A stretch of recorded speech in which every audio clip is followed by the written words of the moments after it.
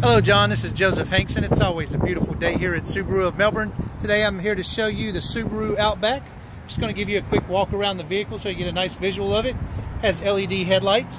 It also has the EyeSight driver assist technology. That's like having an extra set of eyes while you drive. Make our way around to the back where you have a very spacious cargo area. There we go. Just going to continue to make our way all the way around so you get a nice visual of the full vehicle. There we go. All right, John, that is the Subaru Outback. Again, my name is Joseph Hanks. If you have any questions, you can reach me at 321 586 5885, and I look forward to working with you. Thank you.